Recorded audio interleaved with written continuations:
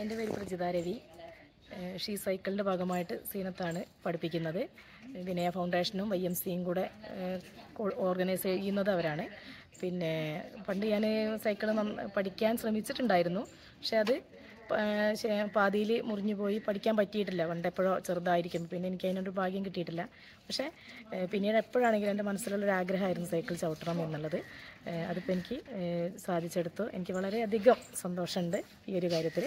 അതിൽ ഞാൻ ഈ ഒരു വിനയ ഫൗണ്ടേഷനെയും എം സി എയും ആത്മാർത്ഥം സീനത്തിനെയും എന്നും ഓർ ഓർക്കുന്നതായിരിക്കും.